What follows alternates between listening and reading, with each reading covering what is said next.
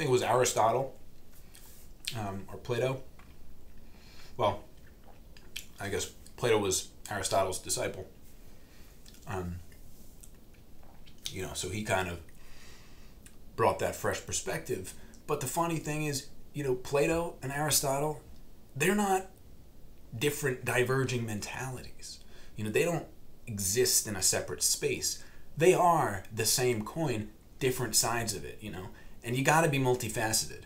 You got to be multifaceted. You got, you know, it's if you're if you're if you're able to read some of Aristotle's works, and you should, man. I'm telling you, there are there are oh, nuggets in there. Talking about gold, man. You know, there are nuggets in there, nuggets of truth. Um, and he's a man. You know, he, he, that's thousands of years ago. You know, that knowledge exists. You know, it's in writing. It's in books. You know, all of that stuff is in books. But if you're capable of of being taught by that man, Aristotle, then you need to be capable of being taught by Plato. You can't read one and not the other. You know, with with any book.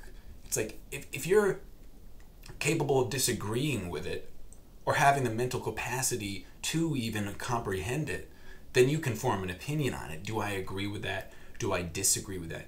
If you're able to do that, read the book.